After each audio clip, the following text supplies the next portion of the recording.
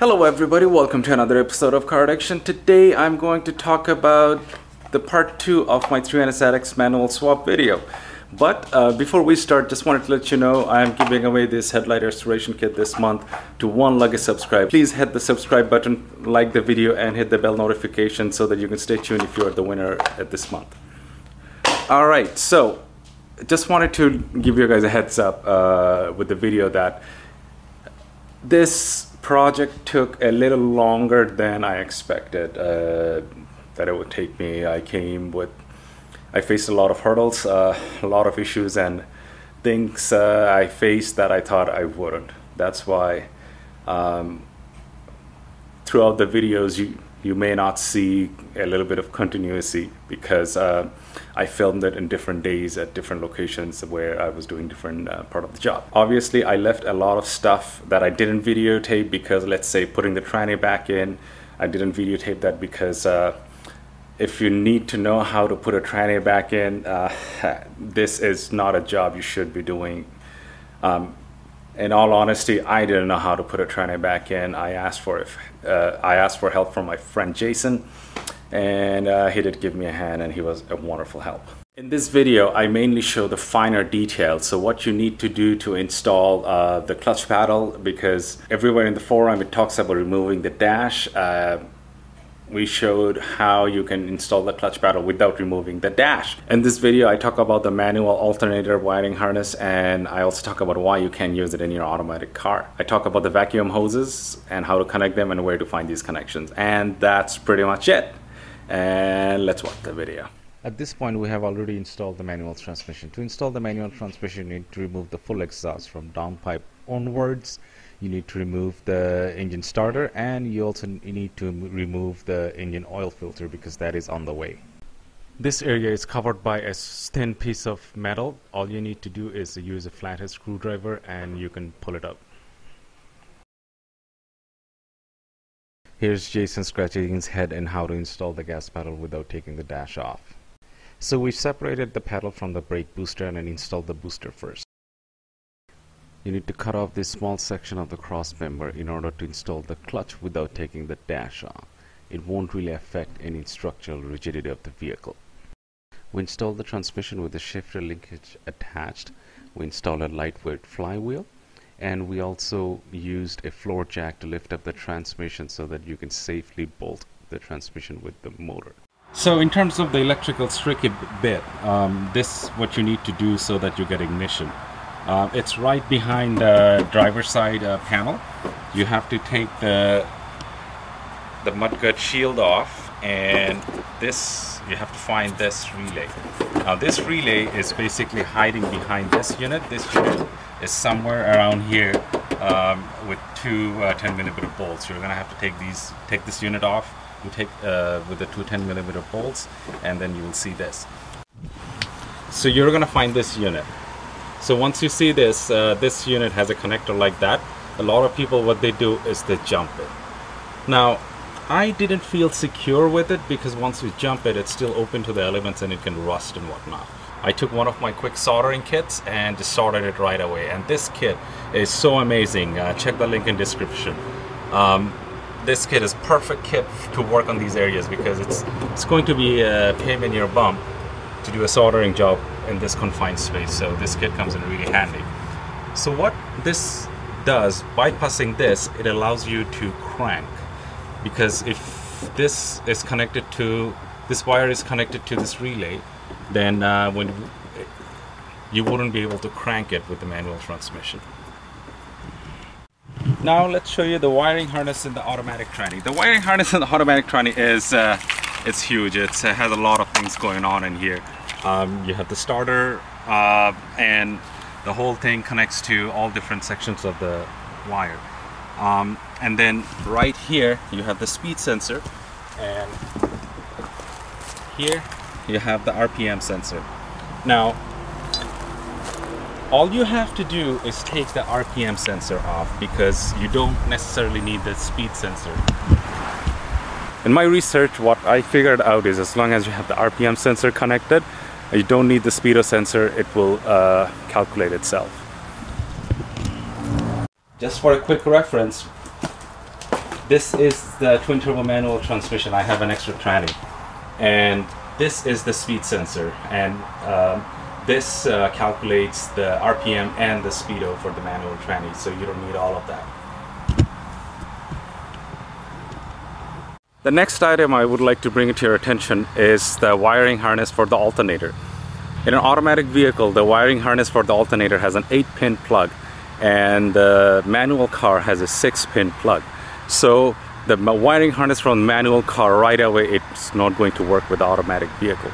Having said that, I did my research, a lot of the vlogs and uh, people who has done it quite many times, they said you don't need to change the wiring harness. So I took a uh, blind uh, leap of faith.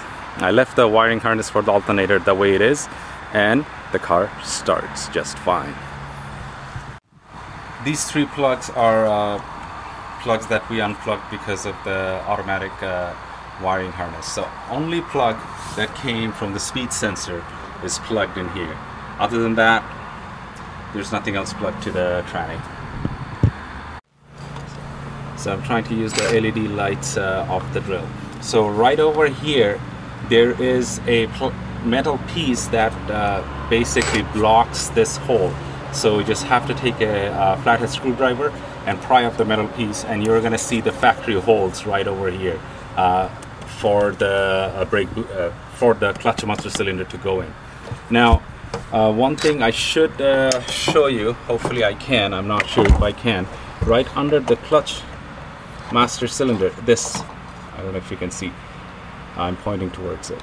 That piece this is a um, a clutch master cylinder booster.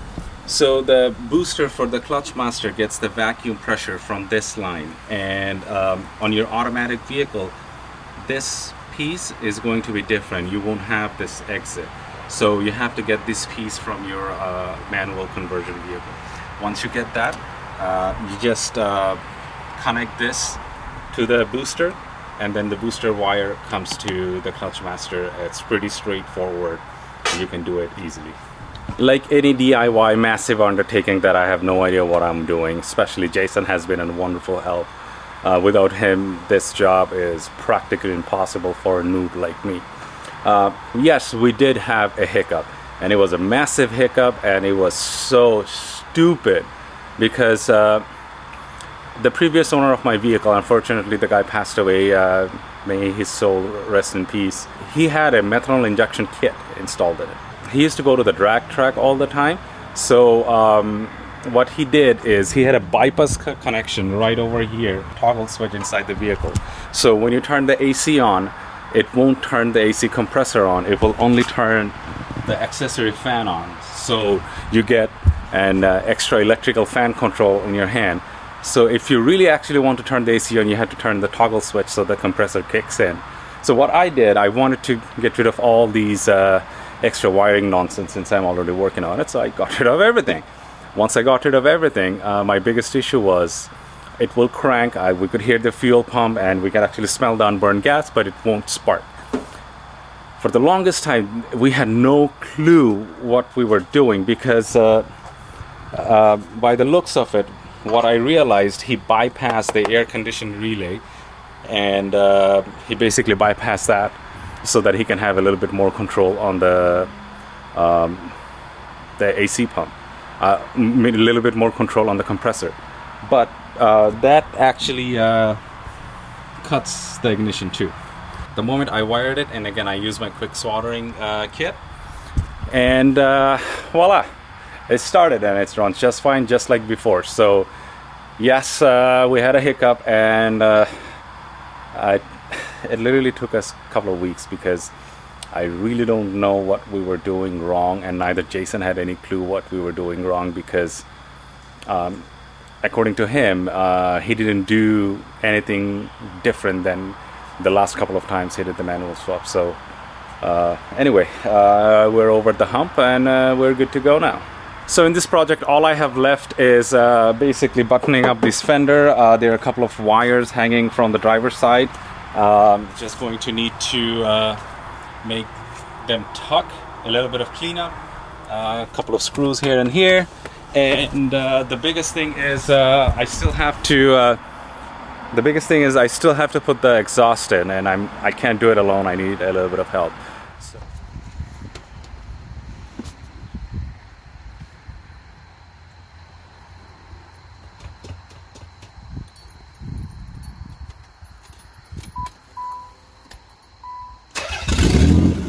You did a fantastic job. For what I have to work. We didn't have too much.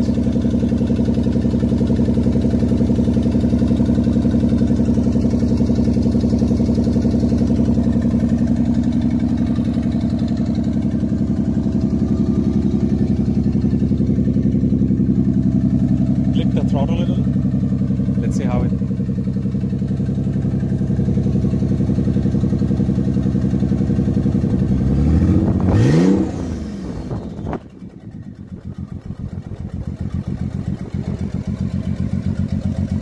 Now it's on idle. You can hear the turbo is better. Yeah.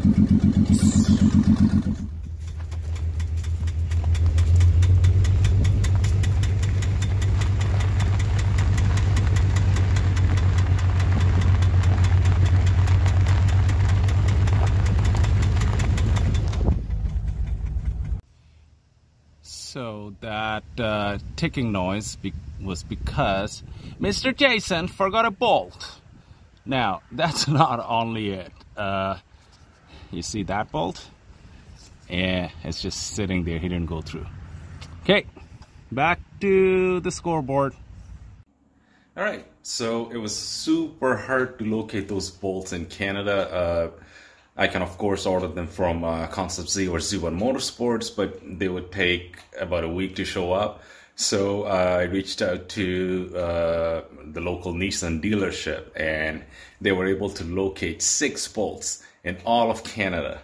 And they were in Quebec, and they overnighted it for me. The, uh, we got it here, and uh, I put the bolts in, I torqued it, and went for a drive. And thank God that ticking noise is gone. And we all knew why it was there. And I went through the gears, and it felt so good because in the automatic tranny, the first, second, and third gear are so tall. You know, you're it feels like you're always stuck in a gear. But on the manual, oh, it picks up so nice and so hard.